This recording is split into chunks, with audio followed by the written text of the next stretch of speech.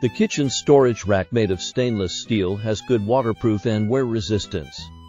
During use, it not only has a good storage and storage function, but also effectively reduces the cleaning burden of the user.